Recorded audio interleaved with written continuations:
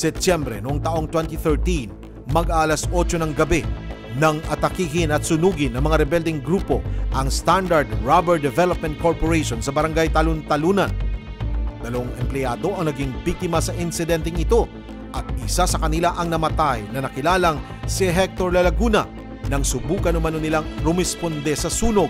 Ngunit nasabugan ng landmine ang sasakyang kanilang minamaneho habang tinatahak ang daan patungo sa plantasyon.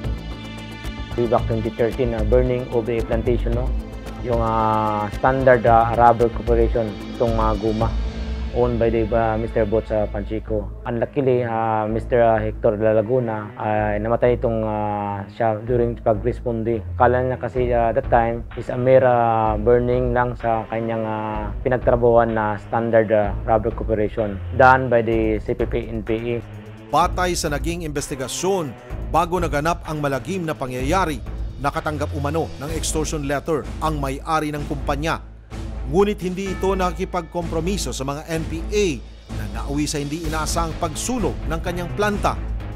Pitong taon man ang lumipas, bakas pa rin sa pinangyarihan ng insidente ang kalunos-lunos na kahapong nagpapaalaala sa hindi makatarungang sinapit ng planta sa kamay ng mga rebelding grupo. Magandang gabi, Pilipinas!